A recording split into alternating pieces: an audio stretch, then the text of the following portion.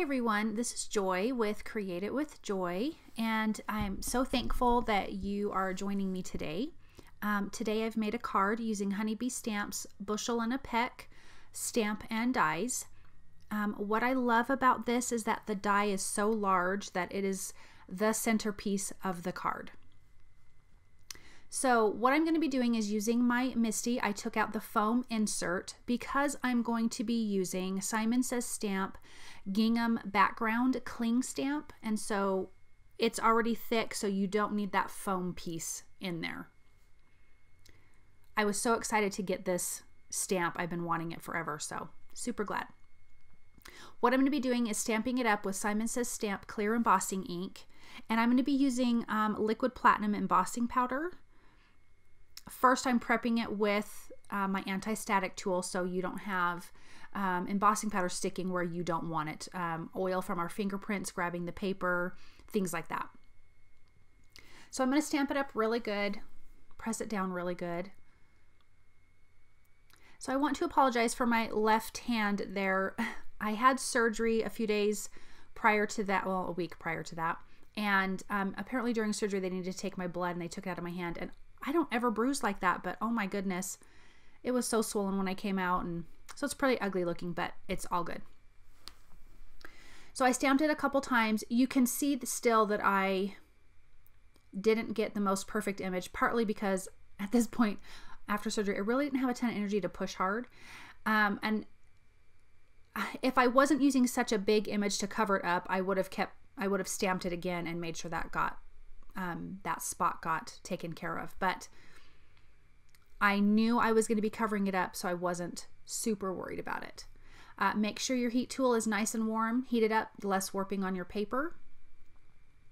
And I don't know about you, but I really do love watching embossing powder change. There's something extremely weirdly satisfying about that. So heat it up, flip it around, um, I love the liquid platinum embossing powder, and I think I forgot to write down the name of who it was, um, but it'll be down in my description below. Now, those images I had already colored on part of my recovery for surgery, and so the colors that I used were R35, 37, and 39 for the red, E57 and 55, um, LG 3 and 5, which is a Spectrum Noir markers for the green. And this stamp set is super cute. It comes with two sizes of apples, um, which I think looks great. Also, I'm using the Lawn Fawn Large Stitched Rectangle Stackables, and I'm cutting that out of um, Neenah 110 Pound Smooth Desert Storm. It came in one of my Simon Says stamp card kits. I think it was the November card kit. And I just really kind of liked this brown look. And even though you've got this, um, the embossing powder in the back, which makes it kind of shiny. So, I don't know, there's a little bit of bling in there. I needed way more apples to fill this up. So there's the colors that I used and I stamped with Simon Says Stamp Intense black ink. It is um, Copic friendly. And so I'm just going to be coloring these red and green apples. Super simple, super fast, super cute.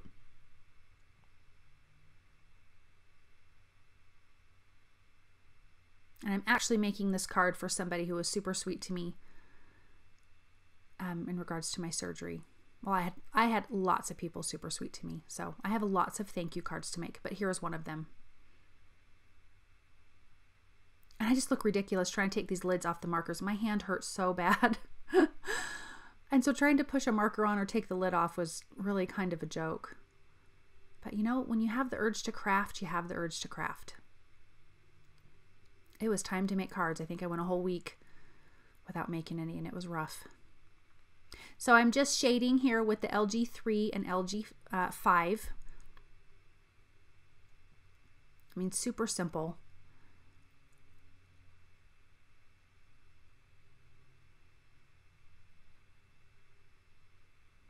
And then I'm going to go in with the reds. And that's the Copic markers. And I'm going to start with um, R35 and then 39 and then 37. Kind of a, the 35 is kind of like a pinky red. But then you add those other dark, darker colors and it really um, makes this a really look good looking red apple. Again, adding the darker shadows, blending it out with the lighter color, or the medium color, excuse me. And then going back over that again with the lighter red. And also what I did was I took the darkest of the red and the darkest of the green and added a little bit of dots um, to this just to give it a little more character, a little more depth. So there's the little dots there. It really does make a huge difference. Now these have coordinating dies, um, and I ended up cutting these out by hand because it was really hard to run my hold on to my die cutting machine with my left hand. So I just cut these out by hand because really they're super simple. So I'm using my Tombow Mono Adhesive uh, tape runner, adhering that um, embossed background. And I just used um, Neenah Classic Crest Solar White for the background that was embossed. And I also cut that out of um, one of the rectangle dies, I think the second size down of the Lawn Fawn large stitched rectangle stackables. So I need to add the sentiment. And it says, I feel so loved.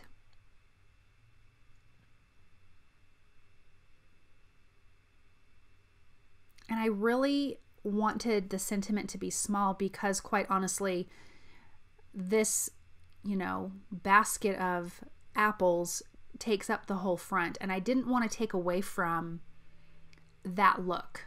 So I think it was perfect that, um, that you know, you could have that tiny sentiment on the rim of the basket. I wanted this image to be front and center and then I embossed that with white embossing powder. Really, this card is a super fast, really quite simple card to make. And I'm going to line the back of this with foam tape because I do want a little bit of dimension because I'm going to be stacking those apples on the inside and the back. But I did realize I needed to move that that, that down because I need a little bit of room for the apples to slide behind the lip of that basket. And so just got that lined up and you can see that it covers the spots that I did not emboss very well. So in my usual joy style, I need to lay everything out first because I just cannot visually picture it unless I lay it out first. And then just trimming up some things so they can be lower down or higher up, however it works. But these little apples are so cute. So, so cute. I mean, really, you could use this basket for anything. You could put cute little critters coming out of this basket. Um, you can use the apples, um, like with the Lawn Fawn, you're the caramel apple of my eye, cute little stamp set. I mean, there's just, you know, mix and matching your stamp sets is a really, really smart thing to do because it really opens up um, your world on you know how, how creative you can be there's no limits I mean, that is just so darn cute. So I'm going to glue these on. I need a little bit of foam tape um, on the back of, I believe, the red apple because it's going to be hanging off the edge of the basket. So we need that to be kind of level. How cute is that? And then I decided it need a, needed a little something else. So I took the little solid heart out of the stamp set and used uh, Lawn Fawn Lobster red dye ink and just stamped a few little red hearts. And I just thought it was dang cute. And odd numbers are just way more pleasing to the eye. So if you're going to do something, you know, odd numbers tends to work really good. Now to all the apples, I'm going to be adding highlights. And normally I just do like a little straight line, a couple little dots. But then I realized sometimes on apples, they are, they have quite a bit of a shinier spot. So I kind of made this white line thicker and kind of thicker at the top and kind of tapered down um, towards the bottom. Um, I love it. really super cute.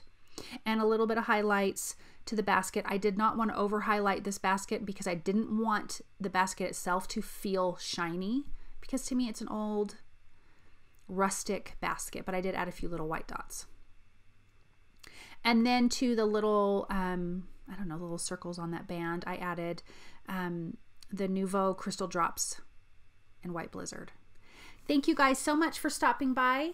Um, I appreciate you. If you like what you saw, please thumbs up, um, subscribe to my channel, and please leave a comment.